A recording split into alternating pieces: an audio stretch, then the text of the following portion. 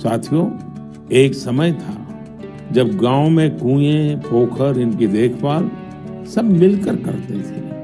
अब ऐसा ही एक प्रयास तमिलनाडु के तिरुवन्नामलाई में हो रहा है। यहाँ स्थानीय लोगों ने अपने कुओं को संरक्षित करने के लिए अभियान चलाया हुआ है। ये लोग अपने इलाके में वर्षों से बंद पड़े सार्वजनिक कुओं को फिर से जीवित कर रहे हैं।